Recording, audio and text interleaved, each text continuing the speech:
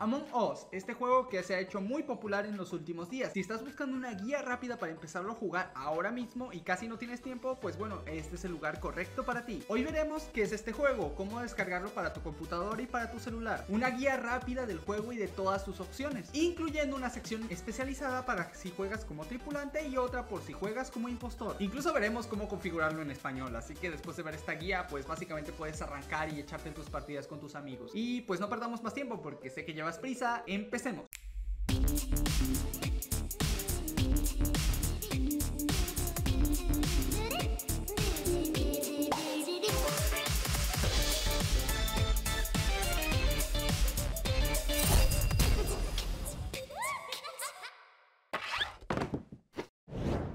Among Us es un juego en donde una tripulación que está aislada del resto del universo en una nave espacial deberá sobrevivir al ataque de uno o más impostores que intentarán matarlos a todos. Estos impostores lucen exactamente igual que el resto de la tripulación y tratarán de engañarnos para pasar desapercibidos. El juego salió a la venta en 2018, pero fue recientemente cuando se hizo viral gracias a los streamers. Si quieres descargarlo gratis para celular, ya sea en Android o en iOS, está en la respectiva Play Store o App Store. Y si gusta jugarlo en tu computadora, está a un costo de 5 dólares en la tienda de Steam. Te dejo aquí en la descripción los enlaces para que puedas descargar cada una de estas versiones. Y por cierto, como dato curioso, los de celular y los de computadora pueden jugar dentro de una misma partida, ya que el servidor es compartido. Así que solo compartiendo esa clave de la sala podrás hacer que ese amigo tuyo se una sin importar desde qué dispositivo se encuentre. Ahora que ya hablamos de qué es, pasemos ahora sí con lo que es la guía como tal del juego. Como ya lo mencionamos, existen dos bandos, los tripulantes y los impostores, que normalmente es uno pero se puede configurar para que haya más de un impostor por partida. Hablaremos primero de los tripulantes. Estos tienen que realizar tareas dentro de la nave. Estas tareas sirven para llenar una barra de progreso. Si esta barra de progreso se completa, que es cuando todos y cada uno de los integrantes han terminado todas sus tareas, entonces ellos ganan el juego. Por cierto, las tareas aparecen en el lado izquierdo de la pantalla y al derecho tienes un mapa que te guiará hacia dónde puedes hacerlas. Estas tareas consisten entre cruzar cables, establecer códigos, sacar la basura presionando algún botón, entre muchas otras. Por cierto, mientras las haces ten mucho cuidado de que no haya nadie sospechoso a tu alrededor, ya que el impostor buscará matarte cuando estés separado del resto del equipo. También debo recordarte que aunque el impostor te asesine, te conviertes en un fantasma y aún puedes completar tus tareas y así ayudar a que tu equipo gane. Lo único malo es que en el chat nadie puede leer lo que escribas, pero bueno, solo los otros fantasmas pueden hablarse entre ellos. Otra de las habilidades que tienen los tripulantes es la de reportar un cuerpo cuando lo ven, y de hecho es su deber hacerlo cada vez que encuentren a alguien asesinado, o si no, sospecharán de ellos. Cuando se reporta un cuerpo empieza una reunión de emergencia. En estas reuniones se procede a discutir qué fue lo que pasó, en dónde pasó y si tienen evidencia de un posible asesino.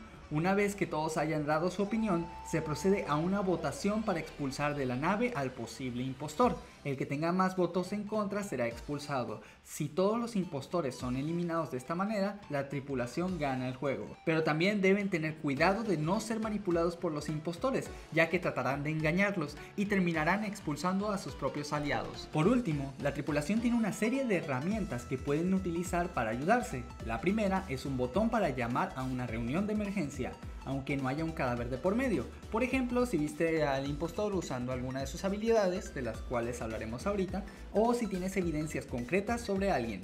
Pero bueno, ten cuidado de usar este botón, porque solo puedes usarla a un número limitado de veces por partida. En segundo lugar, tenemos la sala de seguridad, donde hay cuatro cámaras que apuntan a los pasillos principales, donde puedes monitorear hacia dónde se mueven todos, y si el asesino es descuidado puedes pillarle incluso con las manos en la masa. También está la sala de administración, en donde puedes ver en dónde están localizados los otros jugadores en el mapa, algo así como el mapa del merodeador en Harry Potter, pero sin los nombres. Un dato importante es que todas las herramientas anteriormente mencionadas también pueden ser utilizadas por el impostor, así que ten cuidado porque es un arma de doble filo de cierta manera. Por último, vamos a hablar de las herramientas que no puede utilizar el impostor. Que son por ejemplo en la sala de medicina está el escáner. Si alguien tiene esa misión y se escanea y ves que se está escaneando, entonces ya sabes que esa persona no puede ser el impostor, ya que el impostor no puede ejecutar esa tarea. Otra es en la parte de abajo cuando saques la basura. Cuando veas la basura saliendo, la persona que realizó esa tarea ya sabes que es alguien de confianza. Con estas dos misiones en el mapa principal del juego puedes identificar quién está de tu lado 100% seguro. Ahora que hemos cubierto todo sobre la tripulación, pasaremos a lo que estabas esperando, el impostor. Esta persona lucirá exactamente igual al resto del equipo. Incluso se asigna un grupo de tareas falsas que, bueno, no puede realizar, pero le sirven como coartada en el caso de que le pregunten. Asimismo, cuenta con tres poderes especiales que son 1. Sabotear la nave 2. Moverse entre los ductos de ventilación y por supuesto el número 3 que es matar.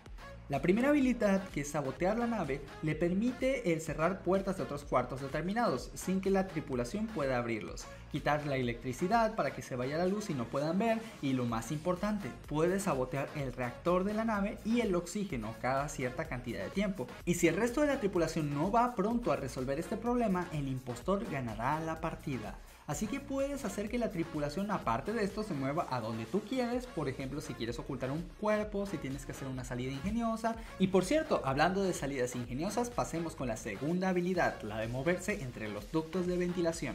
Esta habilidad es extremadamente útil cuando ya has asesinado a alguien y deseas escapar. Otra utilidad es que puedes sabotear para que quede una sala cerrada, meterte un ducto de ventilación, teletransportarte a esa sala, matar a la persona y salir por ese mismo ducto de ventilación. Eso es una estrategia bastante usada. Y otra cosa que puedes hacer aparte de todo esto pues es moverte por el mapa muchísimo más rápido que el resto de la tripulación para que la gente no pueda escapar de ti. Pero bueno, tiene una cosa muy mala y es que bueno, eh, si alguien te ve usándola, eh, quiere decir que eres el impostor por lo tanto te presionará el botón de emergencia para culparte inmediatamente. Así que procura que nadie te vea utilizando esta habilidad para que no seas descubierto. Por último, la habilidad más importante del impostor, que es matar.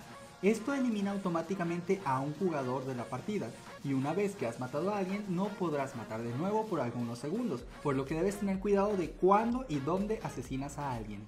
Este es el rol más divertido y por mucho, así que diviértete cuando lo seas.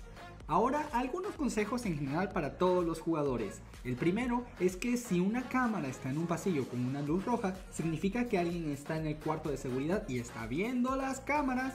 Cuando seas el impostor y sabotees, trata de moverte mientras lo haces, así nadie podrá sospechar de ti. También cuando estén todos agrupados trata de cometer un asesinato, esto te despistará a todos en no saber quién fue. Solo ten mucho cuidado porque inmediatamente asesines a alguien te teletransportarás detrás de su cadáver por lo que trata de que todos estén lo más juntos posibles para que nadie pueda notar que fuiste tú. Por cierto, para cambiarlo a español lo único que tienes que hacer es irte aquí abajito a configuraciones y de ahí seleccionar el apartado de data y ahí le cambias a español y listo, todo estará en español a partir de ahora. Próximamente aquí en el canal haremos una recopilación de las mejores técnicas para ganar como impostor y las mejores técnicas para ganar como tripulante, así que estate atento y suscríbete al canal. También si te gustan juegos como League of Legends te recomiendo este video que te dejo por aquí. Este fue Panic Flash y Flashero, hasta la próxima.